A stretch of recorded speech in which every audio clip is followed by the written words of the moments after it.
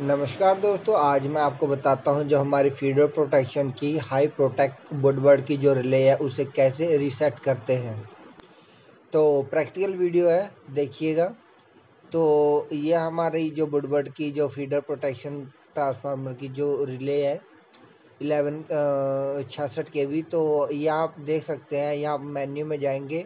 Menu में जाने के बाद सर्विस में जाएँगे, सर्विस के बाद ऑपरेशन सॉरी मेन्यू में जाने के बाद ऑपरेशन में जाएँगे, ऑपरेशन के बाद एक्नोलेज में जाएँगे। उसमें आप देख सकते हैं S by S A C K L E D तो इसको हमने रीसेट करना है, जो आप कोने में जो एल ई डी देख रहे हैं रेड कलर में जग रही है तो उसे हमने रीसेट करना है। तो ये हम ओके दबाने के बाद अगर one two three four password भरेंगे तो ये हमारी रीसेट हो जाएगी। हम देख सकते हैं यस दबा यस दबाऊँगा, अभी ओके करूँगा।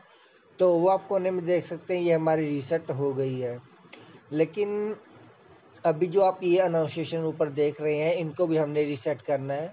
ये देखिए, अभी ये रीसेट नहीं हो रही है। एक्सेप्ट दबा रहा हूँ मैं और रीसेट दबा रहा हूँ, लेकिन ये नहीं हो रही है।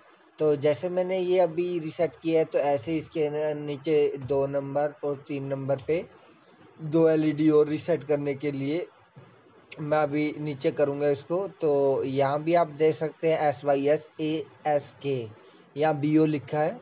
तो इसको मैं रिसेट करूँगा, इसमें भी ऐसे ही पहले की तरह पासवर्ड भरूँगा वन टू थ्री और फोर तो इसको भरने के बाद ओके दबाएँगे यस दबाएँगे।